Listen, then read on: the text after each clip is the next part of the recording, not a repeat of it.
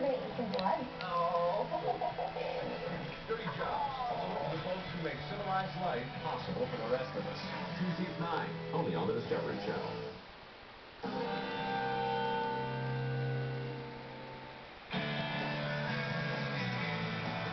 Okay, Christmas is coming. It's time to think about getting the bird. Well, unlike my bean curd substitute turkey, there's all sorts of stories and myths about the dangers of the frozen turkey. I've heard it's cracked floor tiles, like broken toes, and even caused Well, why don't we separate fact from fiction and see how we lethal these frozen will be like a public service. Exactly.